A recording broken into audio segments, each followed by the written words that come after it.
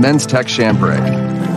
It's inspired by the look of a traditional chambray shirt while keeping the sun off, the moisture out, and wrinkles away. Another shirt designed to perform by Orvis.